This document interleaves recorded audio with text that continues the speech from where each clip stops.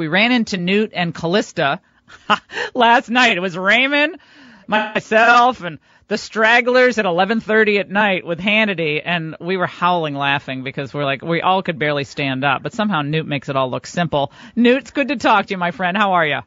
Well, I'm doing great, and uh, this is sort of the first family convention I've ever been to.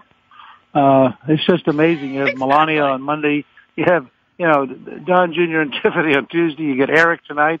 You get uh, uh, Ivanka and Donald on uh, Thursday. So it's it's a very interesting formula, and I actually think the best surrogates he's got are, are his kids. That they're just they're remarkably good at, at communicating what he's all about and what he stands for.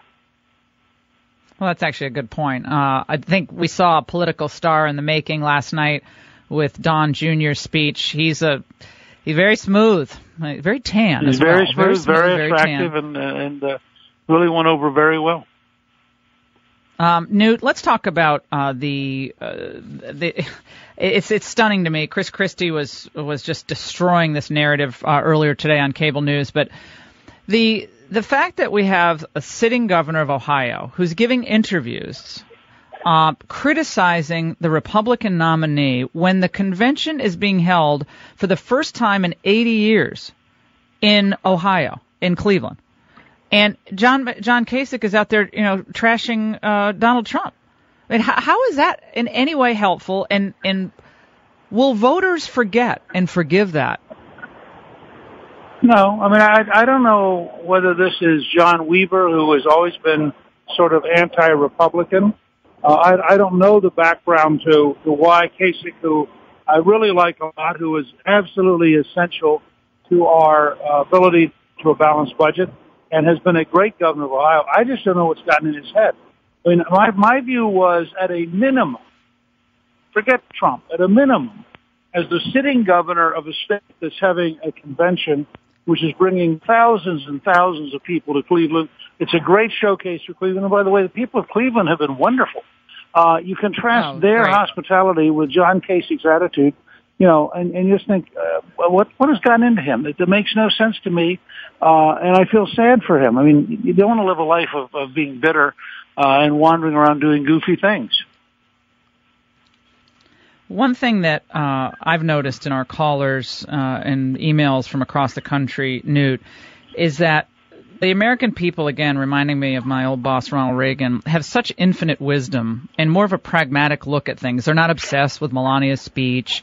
Uh, they're not worried that the Bushes aren't here. They know that what's happening now in Washington doesn't work, and Hillary will be a continuation of the status quo.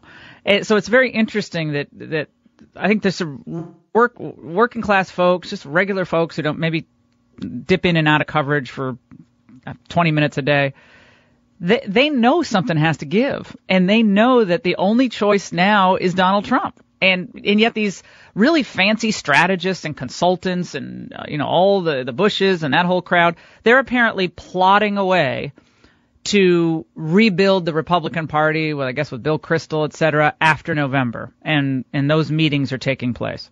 Well, look, I think they're just delusional. I mean, it's it, it, it's a free country, and certainly people who want to get together and form sort of the uh, you know, the antiquarian club of people who used to matter, uh, can do so, but that's who they are. The people who used to matter. The world has changed.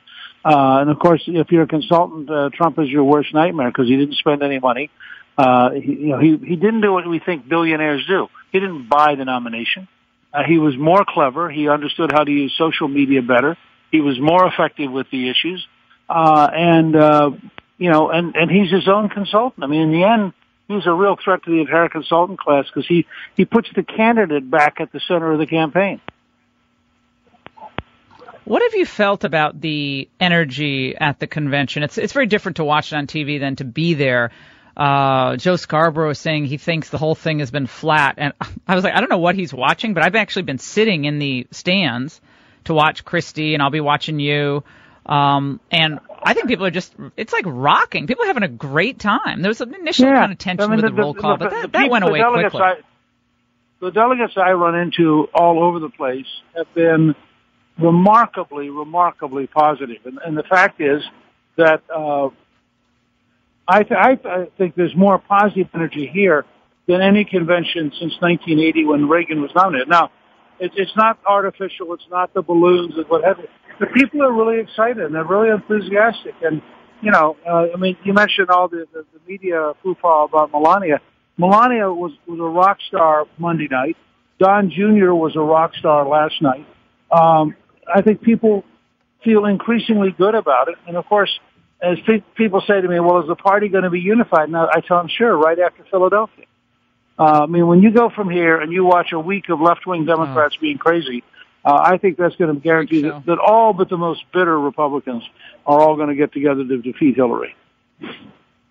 Um, yeah, we've had callers calling in saying sh- they voted for John Kasich twice. They uh, always really loved him, and they're saying, "I'm we're done. We've moved on. Shame on you." I yeah. mean, it's it's visceral. People people understand what's on the line here, Newt, with the Supreme Court, our foreign policy, our stagnant economy, and they can't believe that grown men are acting like babies. Well, exactly. I mean, I think uh, from that standpoint, I think the, the the folks who ran and lost just look they shrink when they follow this kind of bitterness. Uh, you know, this is a great moment in American history we have proven once again that we have a system open to talent. There's no other place in the world where somebody can come from the outside mm. and have the kind of impact that, that Trump is having.